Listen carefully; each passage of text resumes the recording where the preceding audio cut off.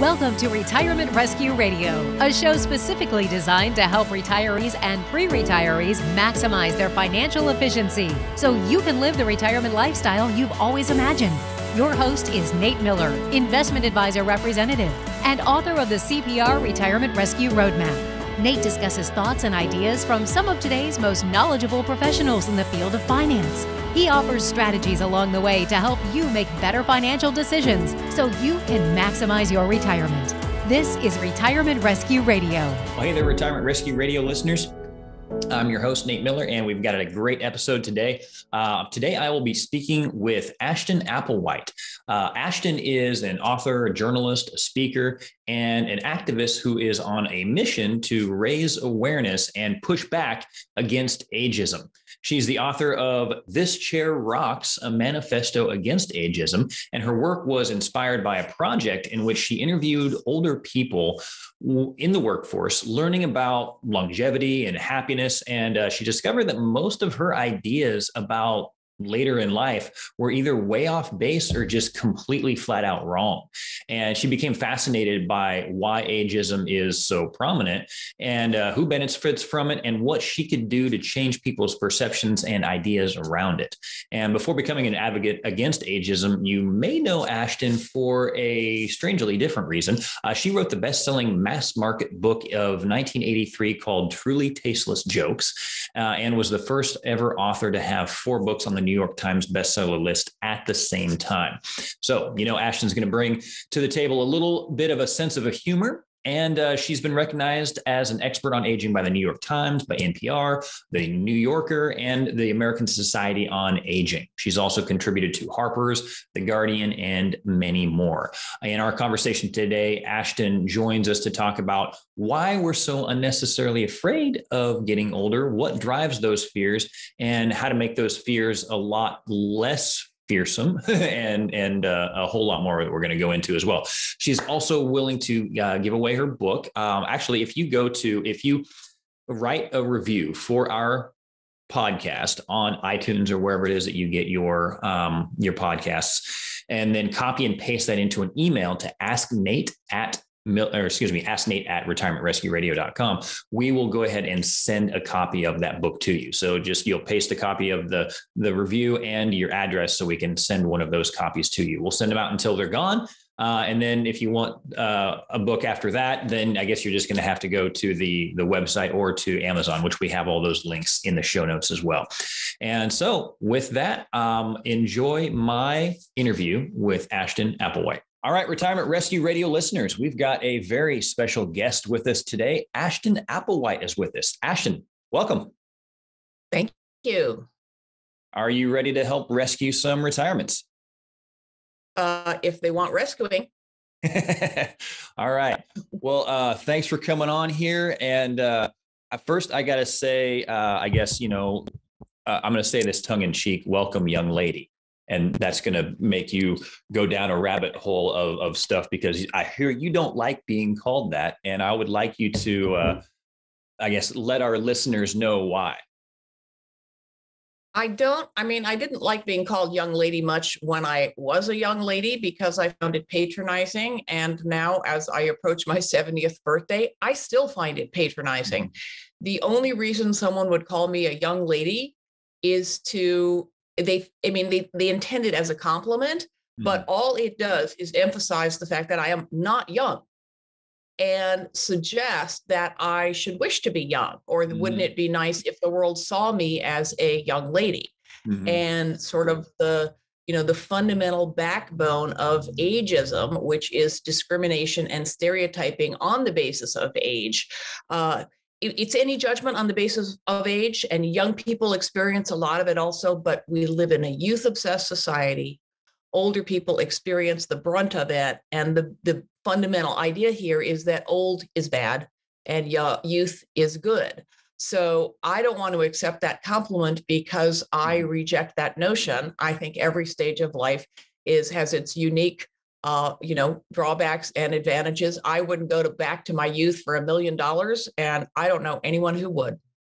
So then that makes me, I got to ask this question then. There's the old saying uh, that you hear every now and then of how 50 is the new 40 or 70 is the new 50 or what whatever age is the new younger age just insert whatever age right how do you feel right. about that well shocker i don't like it yep uh, for one thing uh, uh, two points here being you know I, am 70 or about to be 70 in a way that is not you know it's different from the way a generation ago or two generations ago people were 70 not that many people even lived to be 70 mm-hmm. you know mm-hmm. people you know lives were very different so uh, so my 70 is is a new way of being 70 but it is not the new 60 or the new 40 or the new 50 that way of thinking does just what i already described which is to mm-hmm. suggest that younger would be better the other reason i don't like that way of framing things is that possibly the most important thing I could convey, if I had to just hang on a single fact for your readers, mm-hmm. the longer we live, the more different from one another we become.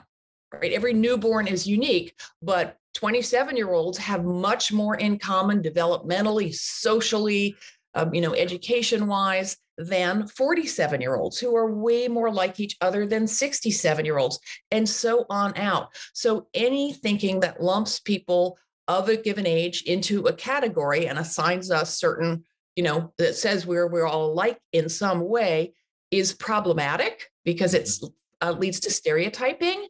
And you know, with the same if you say all people of a certain religion or people of a certain skin color, right? It, but all people look alike. That's right. And, and, so I can't possibly be 70 the way anyone else is 70.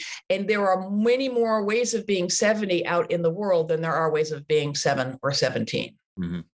I prefer, I had, I had another um, interviewee on my podcast, and I like what they said. They said, no, no, no. 70's the new 70 not the not the other way. It's 70's the new 70 like this is what 70 can look like exactly. Yeah. and it is different from the way it was being 70 mm-hmm. you know in my parents generation or the generation before that. And there's you know lots about that is wonderful but it's not because we're younger. It's mm-hmm. because of the because you can only be the age you are. You cannot ever be any younger. You can be active you can be healthy you can be cranky you can be sedentary you, we're each going to do this in our own way uh-huh. but we're we you know it doesn't make us younger. So you hear all those people that are like i they're saying they work out to look younger or they're trying this new cream or whatever because it's supposed to make you look younger. What are your feelings on that? Well we're back again of course. If the goal is youth um, we're in trouble. Hmm. fundamental reason it, it reinforces the idea that young is better it's delusory because no matter what your skin looks like or your abs look like you're going to wake up a day older so if, you know, uh, we should work out to have a flatter stomach, we should work out to be fitter. We should work out to be healthier, to live longer, but aspire to health, not youth. Mm-hmm. Right. So think about, and in the sort of broader context, every time someone says, you know, I feel so old or I feel so young, what we really mean is insert negative thing. I feel invisible. I feel mm-hmm. incompetent. I felt those things at 13, mm-hmm. worse than I do now. They're not actually a function of how old we are or how young we are. So reach for the, the actual reason you work out, I'm guessing, you know, is to feel fit and to feel like ready for what life has to offer. And I'm sure there are mornings where you feel like no matter how much martial arts you did, you're not ready for the world. And that's not a function of how old you woke up that morning. That's a function of you know what's on your plate and your mood and a thousand other things that age has nothing to do with. Yeah i do i do martial arts because it's fun. The other working out i do i tell my wife i don't really work out for the health reasons. I just work out to look good. That's that's it. Exactly look good. But to look good does not necessarily mean looking young Exactly. right that's that that's the link that we have to break is the association of of youth with beauty of youth with more value because mm-hmm. it's discriminatory and and the longer you know the the and, it, and we pay a price for it lifelong and the older you get the harder it is to reconcile the way you feel which mm-hmm. is often pretty terrific with the way society says you're supposed to feel which is icky and self-loathing yep and so uh, you've got a, a, few books. I mean, we're basically here to talk about the one that you've written just a couple years ago called This Chair Rocks, a manifesto against ageism. But you have written a few. You wrote a book in the 80s called Truly Tasteless Jokes. So I'm expecting to hear a few of those come out uh, as we're talking. Not happening. I mean, I, I, I, I'm not dying. I mean, I'm not going to talk about them. I'm. Mm-hmm. It's not. It's not expurgated, but I have zero interest in talking about them or drawing attention to them. If you want to do so, feel free. But I'm not going there. Sounds good. Um, I want to talk about this though. Uh, at one point, you did the opposite of what so many other people do. Um, so many women, especially, we'll talk about those guys do it too as well, though. But I, I, I don't because I don't have any hair. But we dye our hair as we get older. Um, I know my my mother-in-law uh, does it quite a bit, but they're dyeing it to get rid of the gray. You actually dyed yours gray, basically. Talk about that. What what led up to that, and kind of what were some of the experiences of that? Yeah, well, I um, I, I a, a number of years ago, I was coming out of a movie theater in the afternoon, so in, in a weekday. So a lot of the people there were older because they were not at their jobs. And I was coming up an escalator and I looked down and I saw this sea of uh, older people and uh, hardly any gray heads except on the men. And I thought, you know, dyeing our hair just to cover the gray is one way in which we make ourselves invisible as older women. And when a group is invisible, so are the forces that affect us, right? We we erase ourselves in that way.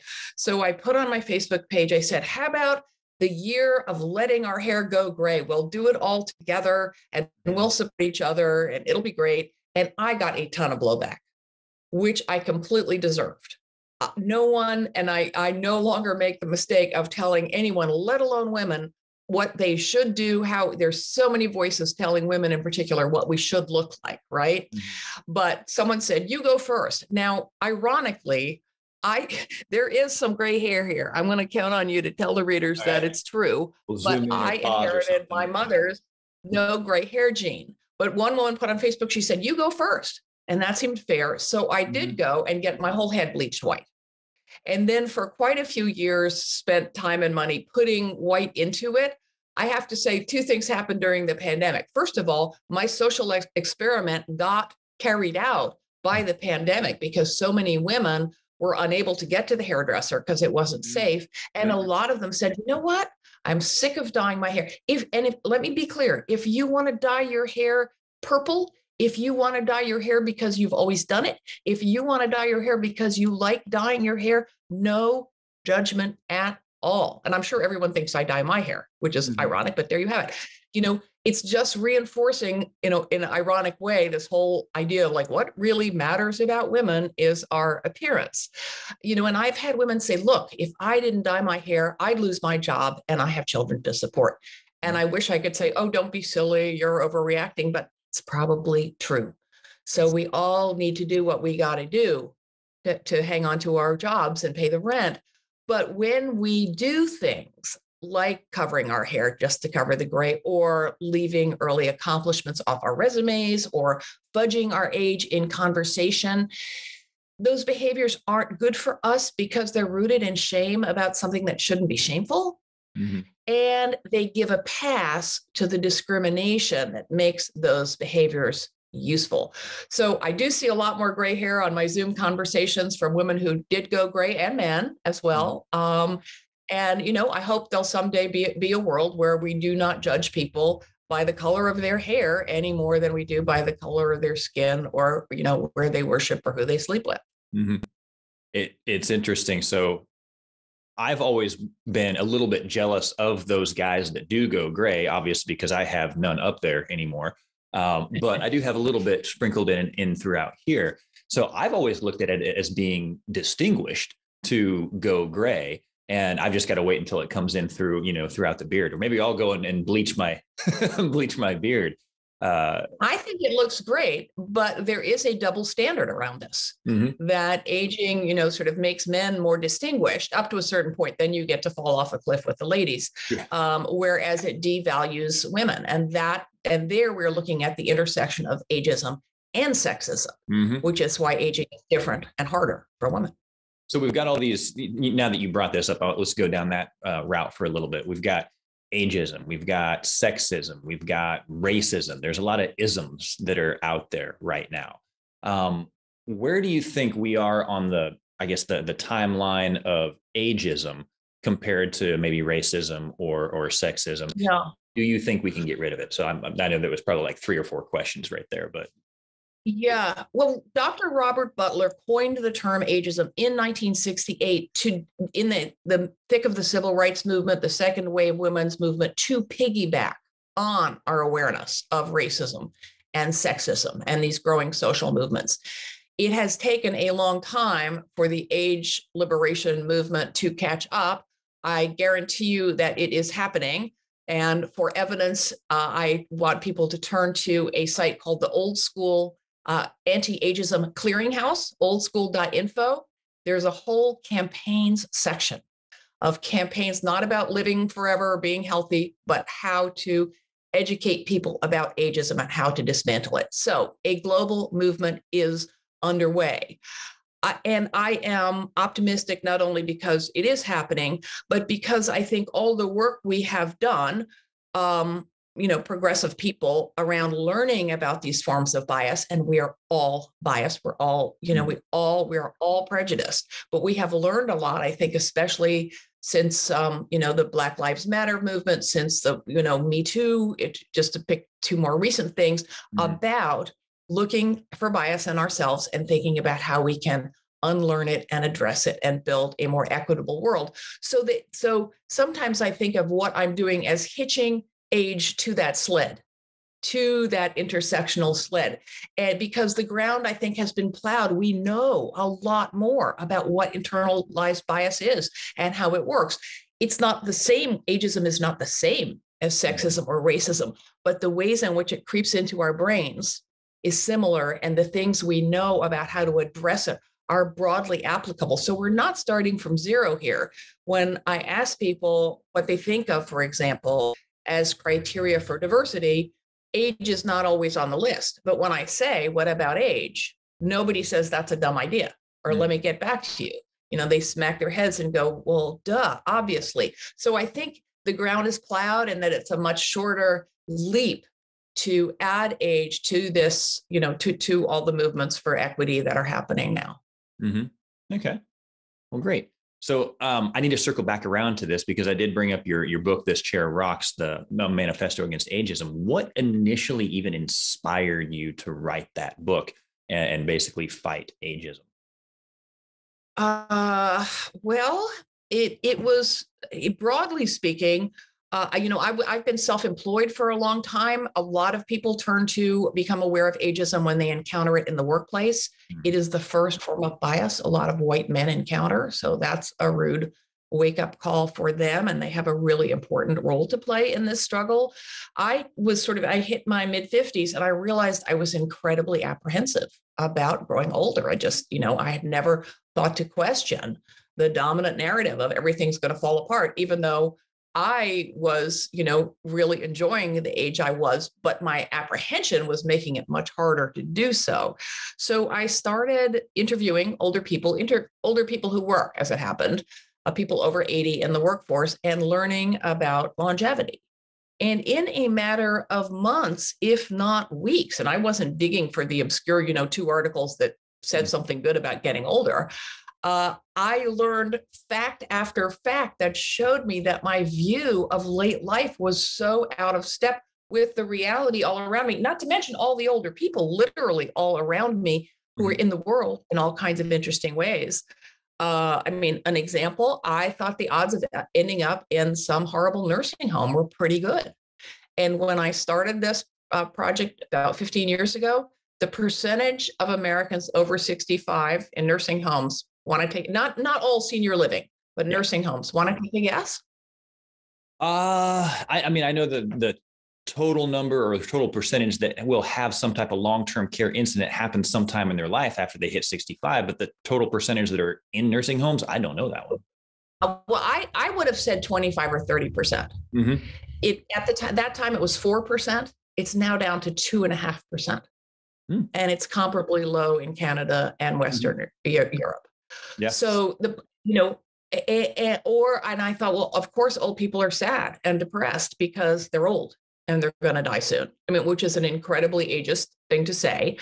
It turns out if you Google, uh, I loved my mother-in-law was always super skeptical about this. She said, I don't believe it. Google U curve of happiness or, mm-hmm. or happiness U curve. Study after study shows that people are happiest at the beginnings and the ends of our lives, that it is the midlife that is the toughest. And then I mean, I was so skeptical. I was like, oh, they must have cornered two old people and given them a cookie and said, How are you doing? It's true everywhere in the world. It's true whether you're rich or not. It's true whether you're married or not. It is a function of the way aging itself affects the brain. So, you know, I'm a wonky, nerdy, you know, researcher type person, although I'm not an academic. But I, you know, I'm facing this like bigger and bigger pile of, of data. This is blue chip science. I, you know, I can't, it's floating at the top of the internet. Check it out.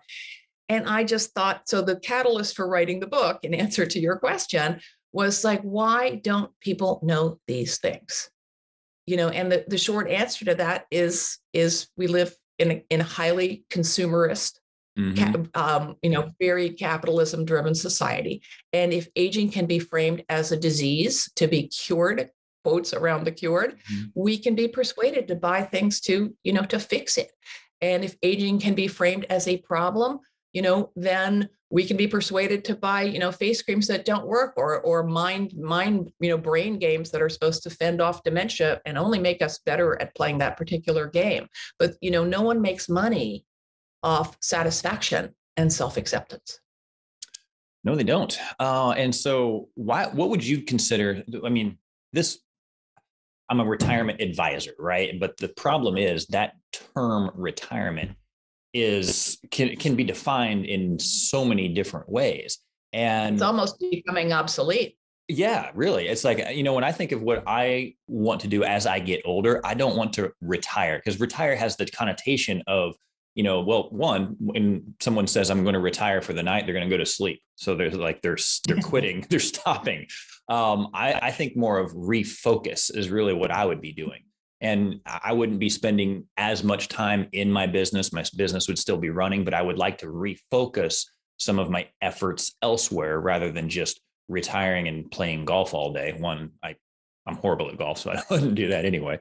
Yeah, um, I, th- I think you're that's true of a lot of people. We might want to work less hard, fewer mm-hmm. hours, have more control over what we do with our time. But you know, if you're lucky enough to have work that that you enjoy, and that you're good at most people don't want to just you know be be shown the door one day and of course um, companies and organizations lose a lot when all that human capital walks out the door mm-hmm. and suddenly you know without transitioning so what are some things that people could do to i guess i'm trying to say i don't know if i want to say fight ageism or but like recognize when it happens and then do something about it um, what's some things that could practical steps i guess people could do I love your reframe um, because I don't love, you know, fighting or battling. Um, well, this is something we can't fight with fists and feet anyway, you know, and so. Right. And it sort of implies that, you know, there's going to be a battle and then somebody will win. And of course, mm-hmm. there, you know, binaries are never, we are never going to get rid of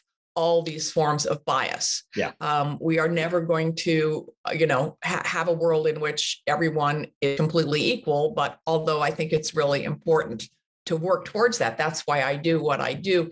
And mm-hmm. just addressing your earlier point in one more sentence, when we being anti-ageist means joining every struggle for equal rights, and no matter what ism you are preoccupied with, if we make the world less racist, we make it a better place in which to be old. If we make the world a better place to be old, we make it a better place in which to be female or to have a disability, right? All the mm-hmm. activism is intersect too. Um, the most important and hardest starting place is to look at is to check your own age bias to look at your own attitudes towards age and aging because these are new ideas to most of us because we're all biased we it starts in early childhood when uh, attitudes towards race and gender start to form and we live in a culture that barrages us from disney movies and children's books on with predominantly negative messages about age and aging. And unless we stop and say, you know, which is what I did at the beginning of this process, like, wait, whoa, whoa, whoa, what I'm seeing is does not match up to that reality. But unless we do that, those messages become part of our identity. That is internalized bias. So, um, you know, there's a million ways to do it on old school. There's the Harvard implicit bias test. That's oldschool.info. Everything's free except the books. Or uh, you know, download the introduction to my book. It's free. Um, but uh, seriously, on old school, there are hundreds of free vetted introductions to ageism, from little animations to books to workshops to whatever. Educate yourself about age and aging because I guarantee that the reality is very different, much more nuanced, much more positive than what we have collectively been brainwashed to believe. And it's really uncomfortable. To, I mean, it's my favorite comment on my book like, oh crap, I had no idea how ageist I was. But that mm-hmm. tells me that that person has not only made themselves vulnerable, but has taken the first and most necessary step to look at, okay, what's between my ears is part of the problem. I can work to change that. The good news is that the very next step, which is automatic, all you have to do is like all you have to do it's a big ask mm-hmm. is to look at your own attitudes towards aging age and aging the minute you see your own ageism you see it everywhere around you in billboards in magazines on tv shows in ageist quips on the radio it's everywhere and that is really liberating because then you think you know this is what consciousness raising did for in the women's movement oh it's not my personal failing. It's not that I have screwed up. I am not a bad person. This stuff is entrenched in the society, in economic policies around me. And that means we can come together and do something about it. So let me ask this. This is going to be kind of a, a even a personal question is because can we recognize some of our own quote prejudices wherever they might be whichever ism they might go to um, in ourselves. And I'm, I'm going to say that because right now I'm actually in the process of hiring another advisor to, to join our team. And I've got a pool of great candidates, but they kind of span the gamut of I've got a couple really young guys. I've got another one. Uh, he seems to be he's about my age. I'm guessing. I don't know. I I, I don't ask the question obviously because you can't. I know I'm terrible at guessing people's ages. I know. Yeah, I, I imagine these the, other guys about my age. Yeah, and then another guy, he he volunteered his age and he said he was going to be 50. And so I, I, feel like I've got, you know, a, a really good cross section of different people to choose from. And they all bring different things to the table. Yeah. And, and, so, but yeah. it's just because, you know, the the young guys, you might have the ageism of like, oh, well, what if they're too young? Right. What, what if some of the you know, clients might think they're too young? Um, but then you got the older ones where the, the normal thing to think of there is like, well, yeah, but how much longer are they going to be in the workforce? Yada, yada. So there's both sides of that. How can we recognize that in ourselves and try to make decisions without those preconceived ideas? Yeah, well, I mean, hats off to you for uh, you know the most important thing you can do is exactly what you are doing thinking like i i have my biases and so do my so so does my client base mm-hmm. right we we it is easiest to work with someone who looks like us we are not going to achieve a diverse um, you know an equitable world unless we can seek to overcome that as mm-hmm. you are doing it reminds me of a famous experiment that an orchestra i believe it was a european orchestra um, conducted because they realized shocker that most of their musicians were older white men Mm-hmm. And they wanted it to reflect the diversity of their audiences and to give more people a chance. So they conducted auditions behind a curtain. Mm-hmm. And I think they even amended it by putting a carpet so that you couldn't tell how much someone weighed or what kind of shoes they were wearing. And what happened was that the, the it, it worked. It mm-hmm. they a lot more women got hired, a lot more fat people, uh, non-white people, you know, because you're the the the even though the uh, people hiring had the best of intentions that these unconscious mm-hmm. beliefs are really fierce. So um, maybe hang a little curtain in front of your zoom window just kidding.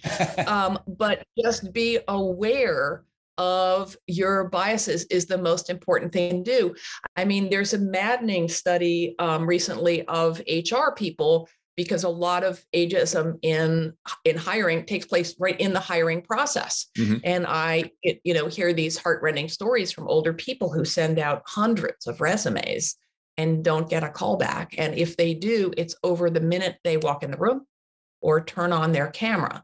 So, um, you know, I would just urge urge people, and and if you, of course, have a um, you know a team where not everyone is a is a you know white guys around the same age you're going to sell a lot of stuff to white guys around your age but you're going to miss out on i mean i i just learned this embarrassingly and painfully. We're going to do some fundraising uh, big scale fundraising for old school. And i did get a funder by writing this letter and i was like what's wrong with this one? And our consultant said do you want to reach more diverse people? This is how you're going to get money from a rich white lady but if you want to get money and talk to people who are actually funding more diverse groups, and I just I had not seen the way I was centering my, you know whiteness and people like me in the way mm-hmm. I was approaching this project. Habits are hard to break. Mm-hmm. Yeah, and I would say this too. So um, I, I, think a key takeaway that I've gotten so far. I mean, you mentioned it in the workplace a few times now. So ageism can affect you financially. Uh, it can even affect you as far as some of the retirement decisions you make. Because, you know, if somebody's 65, they're like, oh, are you retiring? Um, and I've always said from uh, for a very long time, retirement's not an age. Retirement could just be an income. It, it, all depends on how much you've got saved, what your expenses are, and I mean, there's a lot more that goes into that. But if those things meet, it doesn't have to be an age. I mean, your age is relevant in that it does matter when you entered the workforce, but that's mm. that is a function of when you were born mm-hmm. not how old you are, right? I was lucky, I was born in 1952 and had the incredible demographic good fortune of entering the workforce at an unheralded time of peace and prosperity for middle class white Americans. You know, mm-hmm. my dad worked for the same company his whole life. That kind of stability is not available to younger people. So, you know, it who who switch jobs more often, um, for which they are vilified. You know, I'm sure you've heard about, you know, disloyal millennials. Um, mm-hmm. Don't get me started on generational labeling. Two points.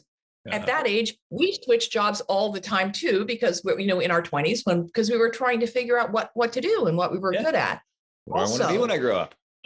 right, and these people entered the workforce during a time of recession pensions have gone out the window. It is a time of much greater instability. So it's necessary to change jobs to get the raises that increase their chances of saving enough for retirement, which is infinitely harder to do for people who are younger than for older people, not because they're old or young, but because of the state of the economy and society at the point at which they enter the workforce. Does that distinction make sense? Yes, it does. Right. It's not about the strengths or weaknesses. A really big pitfall is to blame.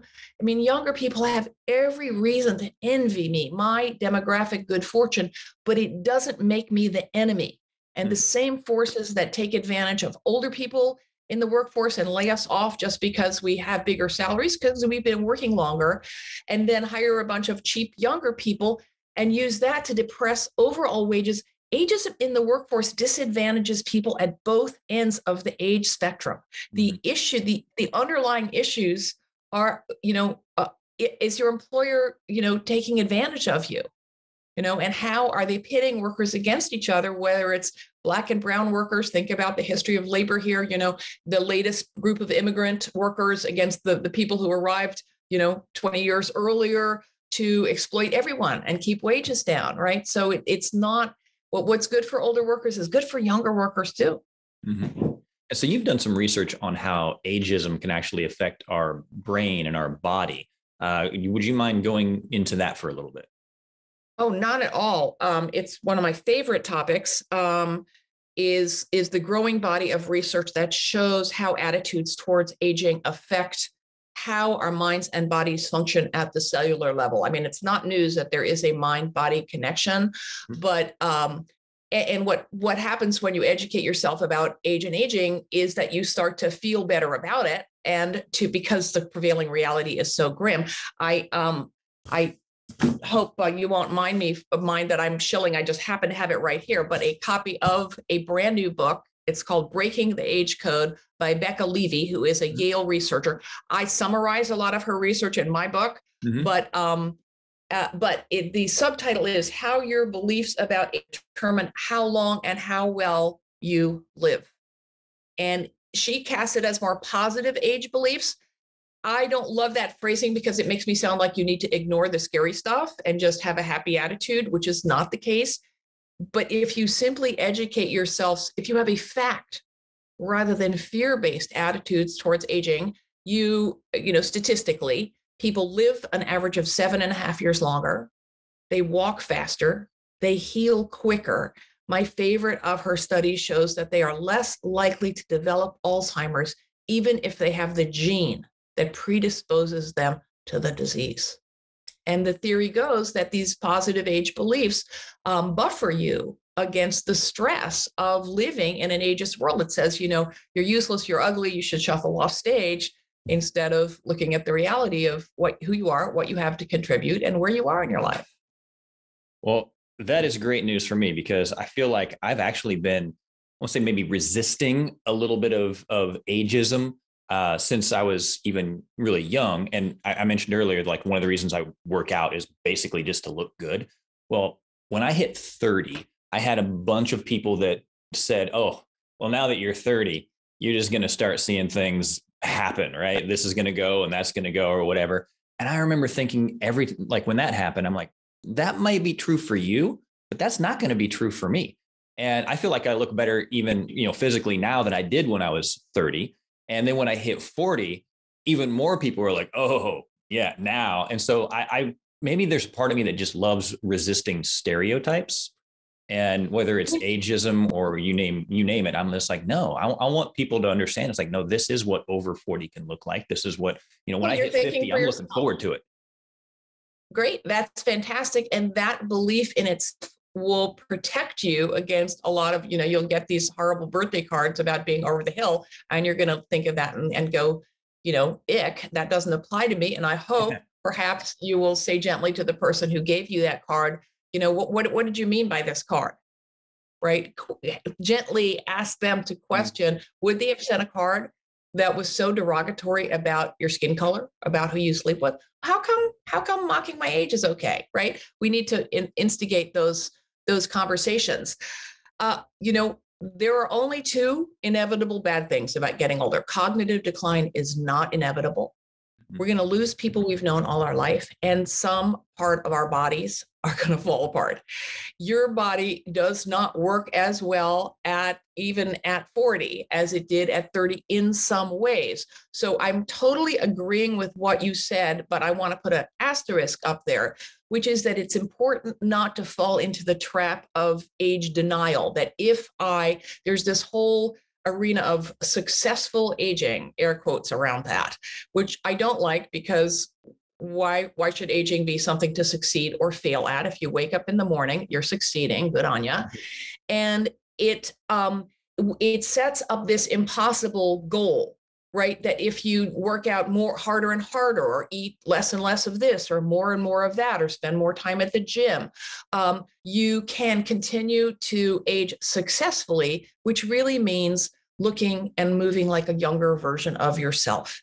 And it's fantastic that you're working out but the goal needs to be to stay healthy or look good, not to stay young and to acknowledge that you know you are not going to be able to bench press at insert age X as much as you did when you insert smaller number mm-hmm. because your body does you know these changes are inevitable to some degree extremely variable. There are other people your age who are built like arnold schwarzenegger which i have to say i'm delighted you're not not that you asked me. And there are other people your age who are couch potatoes. It's not about age. It's about fitness. It's about priorities. It's also a lot about class. And that goes undiscussed. These so called remedies to fix or stop aging cost money, cost time, cost leisure, gym membership, sushi, um, a lot of things that a lot of people don't have access to, which is another reason to resist the narrative that you're only aging right or successfully, air mm. quotes, um, if you are spending a lot of effort and money trying to um, prevent the some changes, some of which to some degree different in each of us, are inevitable because we age well by acknowledging and adapting that to those changes rather than pretending they're never going to happen to us. Excellent. So then how about all these different retirement communities that are becoming popular?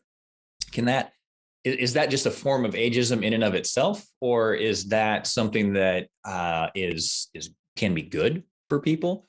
Um, I, and as I say that, I'm I'm going back to what you said even at the very beginning. You know, you can't tell one person what they should do. You don't want to should all over people, right? You know? yeah. I mean, you know, I, there has been a lot of press about um, Margaritaville, this retirement community, also the villages in, I think they're both in Florida, um, really, really fast growing retirement communities for people 55 and up who, judging from the media coverage, which we always need to be, you know, go, go see for ourselves, don't believe everything you see and read. But you would think that these are all middle class white people who do nothing but drive around in their um, you know golf carts and mm-hmm. drink margaritas and party. No judgment. You know, if that's if you can afford to do that and that's your idea of a good time, far be it for me to say you shouldn't do that or it's bad. Mm-hmm. The retire, retirement communities were not invented until the mid 20th century. I think the one in Arizona, Sunset Village or something, was the first one. And I what I dislike about them in the abstract is that they are duh a segregating factor. And segregation is never good. Communities where people of all ages live together have very little ageism because you're friends with people of all ages and you see the way different ages contribute or fail to contribute right you're you know you're living just the way if you live in a an ethnically diverse community it's much harder to have stereotypes about you know Hispanic people or Muslim people or whatever it happens to be, because you're living with them and working with them, and you like some of them and you don't like others, but not because of of whether they go to a mosque or a church, yep. right? If you see what I mean. Mm-hmm. Oh, yeah. So, you know, if you, so I don't love the idea of these communities because I think, um, I think being involved with people of all ages enriches our life. Age segregation in the US cuts us off from most of humanity. I don't want to live somewhere where everyone is the same race as me and the same um, you know, has the same habits as me. I want to be challenged and I want to sort of have different stuff coming at me as a catalyst to, you know, I'm not going to like be able to keep up with any, everything, but I personally don't like the idea of listening to Jimmy Buffett all day long and not um, being challenged by people who are different. Mm-hmm. So, uh, socially speaking, I don't love the idea, but I also think if that's what you want to do, you know, you are, you, these communities provide the most important component of a good old age, not health, which I would have thought it was. And then I thought, well, it must be money, not wealth. Having a strong social network is the most important component of a good old age. So those people are are heading into old age way better off in that sense than someone living in a house in suburbia without ties to their neighbors. Perhaps they won't be able to drive after a while. But Margaritaville is a much better prescription for a good old age than being isolated. Mm-hmm. Yeah, absolutely. And you, to your comment of keeping things different so that you can remain challenged or not, you know, continue down just like one thought process. I always tell people that's the reason that I read both Fox News and the New York Times, is so I can always read both sides so that I don't end up like so far one way or so far the other way. So I can see th- I can yeah. see different perspectives and understand that both of them can have merit. And then I can make up my own mind on what I think is actually, you know, more correct or is more correct for me yeah. rather than somebody. I mean, that's more work. Yeah. You know, and some people d- just don't want to make that effort or don't feel it's worth it. And of course, that's their choice. And mm-hmm. if you can afford that retirement, I'm not going to say, you know, don't do it. It's not, even if I had the, the, the power to tell or the desire to tell people what to do. Yeah, in my line, that's uh, of work. That's what I have to do a lot of times when I ask people what they really want to do in retirement if it's not what I want to do, it doesn't matter. It's like that's not my job is to judge what they want to do if it's different than mine. Mine is just to help them figure out a way to make sure they can do it. That's it. And, and so, and plus, by hearing different ideas, I've gotten some ideas where I've like, oh, I never thought of doing that. That sounds great. Maybe maybe I should look into that. Yeah. So we're we're trying to we're starting to come up on our time here. So if you don't uh, mind, I'm going to kind of move to some other rapid fire questions here. Um, one of them being first off, what would your definition of retirement be? I know we talked a little bit about retirement a little while ago, but and kind of maybe how I would describe even my own. But what would your definition of retirement be? Well, I we're i mean i've been self-employed for so long that the whole idea is very fuzzy to me mm-hmm. i am lucky enough to love what i do and to be able to choose how hard i want to work i'm pretty driven and you know i wake up in the morning and my inbox is full and there are days when i think geez do i want to be working this hard mm-hmm. um, but i do not aspire I mean, I've always loved to work and been very work obsessed. So it's a source of enormous pleasure and identity for me. Mm-hmm. Uh, so I, it's very hard for me to imagine a world in which I am not working. But then again, I'm not terribly comfortable saying that because I think, especially in a hyper capitalist society, we have a lot of judgment around people who do not go somewhere, even somewhere virtual can be fine, you know, and make money. And it is really problematic to tie people's worth to their conventional economic productivity.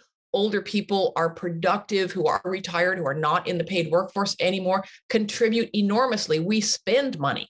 Most looking after older people is done by other older people at no cost to the economy. That has is value in the billions of dollars. You know if i even just to keep it in terms of the workforce if i am watching my grandchild you know x mornings a week so that the kids parents can go off to work i am helping them earn. So i don't ever want to link the value of a human being to whether or not they they work in conventional terms and how much money they make. That's and if you if you want to i really dislike the you know there's a lot of talk in aging like idle hands and keeping busy. If you want your hands to be idle and to sit on the porch swing and read romance novels and you can afford to do it more power to you. There is no right way to do this. It's hard for me imagine not keeping my hand in by writing the occasional thing or or talking to people if people are still interested in hearing what I have to say. Um, but it's very fuzzy, and I don't, you know, I don't know what what it will look like. I would like to work less hard, I imagine, um, but I don't really know what that'll look like, you know. And I think, and in a sense, I think that protects me it, from having a fixed point of view because who knows you know these are strange times. The whole future of work is changing. Ai is going to change everything. I hope we'll diminish ageism in the workforce which will give me and and all the other people you know my age or older uh, more opportunities than we have now. So there's an awful lot of balls up in the air. Mm-hmm and this next question, I think just based on the conversation we've already had, I, I may already know the answer to it, but I still want to want to ask it and hear it in your uh, words. What is something that, say, 20 years down the road, that you would like to look back on and think was absolutely absurd, or 20 years from now, you look back and say, "Man, I can't believe we used to X, whatever that was."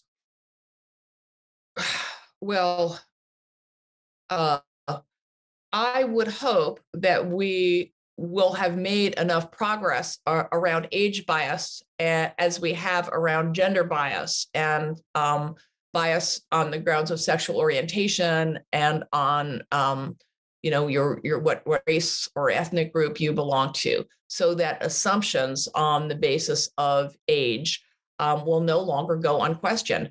I would like to see that entire greeting card birthday card aisle in your corner drugstore eliminated uh, you know everyone that has some disgusting thing. I mean those those cards are horrendous. I mean they are like they are like hate hate mail hate speech hate cards um, because they they are so full of self-loathing and denigration.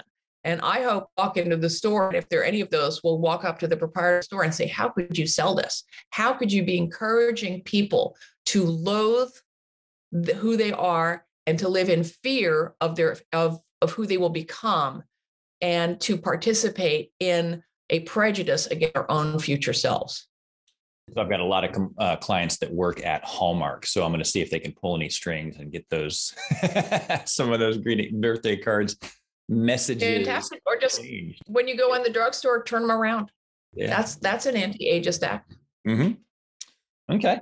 Um, what would be the best uh, best way to reach you? Any like the book resources? Uh, obviously, we're going to be linking to the book, but is there any other ways that if people wanted to reach out and connect with you, what would be the best? Yes, I, I am very easy to find. Um, my uh, website is thischairrocks.com.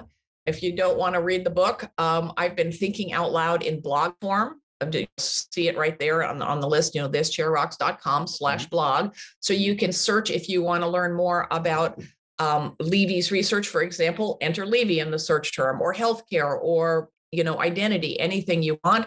I also have a blog, which you could also get to through my main blog called Yo, Is This Ageist?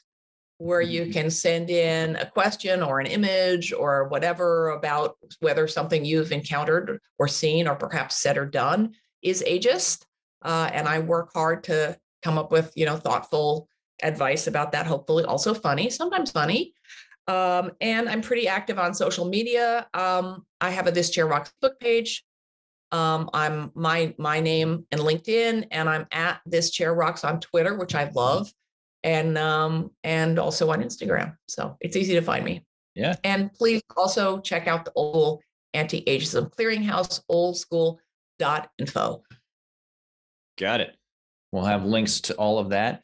And to your question of yo, is this ageist? Uh, that that question sparked another uh, question: is is it considered ageist if there's a certain thing that you uh, that you're thinking about either someone that's young or something that's old that's actually good? Is that still is that still ageist? It's a great question. That's a great question, Nate. Yep.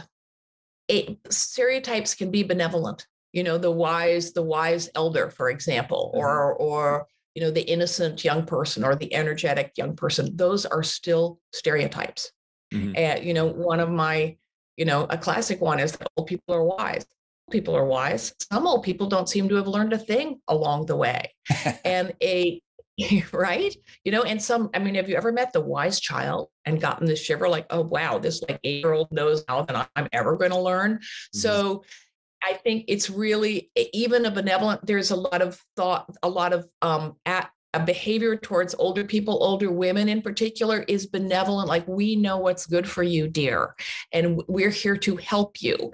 No one wants pity. People want to be respected. So any judgment on the basis of age, whether it's positive or negative, is still ageist because we need to look beneath the age to think about what the actual attribute is and whether that person has it or doesn't have it, which mm-hmm. probably doesn't have much to do with how old they are. Mm-hmm. Awesome. Um, and what would you say that is some of the best advice you've ever received? Um, I guess I, I think of a saying of my grandmother's who is long dead, but she, and I don't think she came up with it, but she used to say comparisons are odious. And any comparison between you and your sister, between mm-hmm. older people and younger people, it's just never helpful to measure ourselves in that way. You know, I mean, uh, uh, Instagram being a toxic, toxic example of all these, especially young women who have already getting, you know, cosmetic surgery and fillers, and then they use filters. And then everyone who doesn't look like that thinks, oh my God, ugly, I'm fat, I'm a failure. So that's a sort of extreme and crowdsourced example of toxically comparing ourselves to other people. We need, and we know this from the body acceptance movement, we know this from Buddhism, we know this from literature, we know this from life itself, that you know, contentment.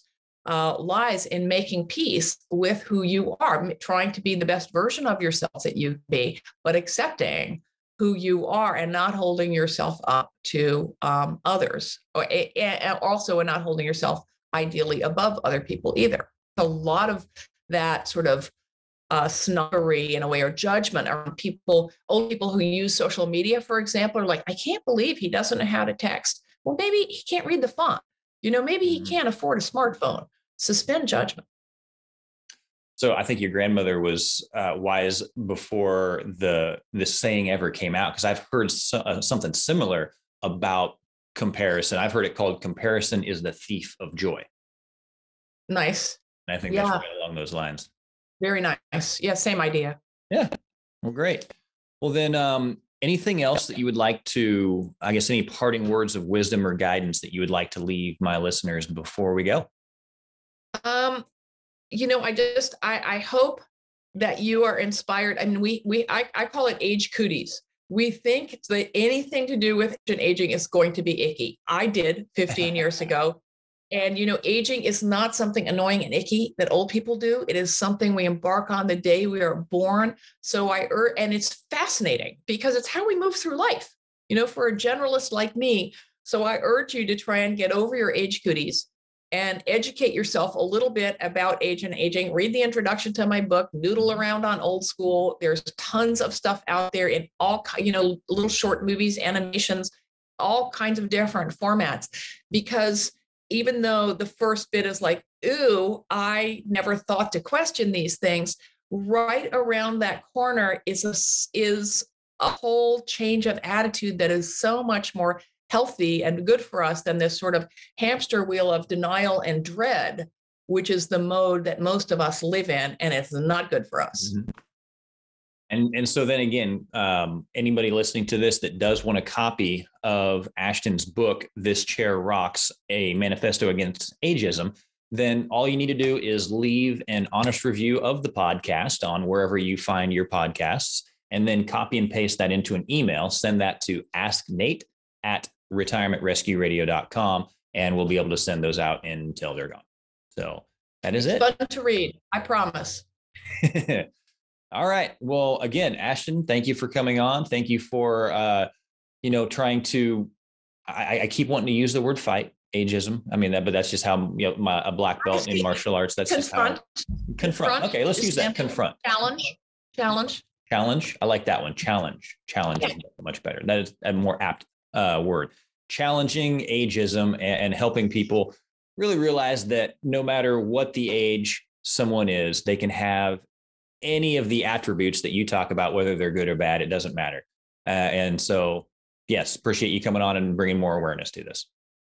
Thanks so much. All right. So um, thank you for listening to this and go ahead and, and reach out to oldschool.info. We'll have all the links to everything in the show notes. And uh, that's it, guys. Thanks for joining us, and we'll see you again here next week. Take care.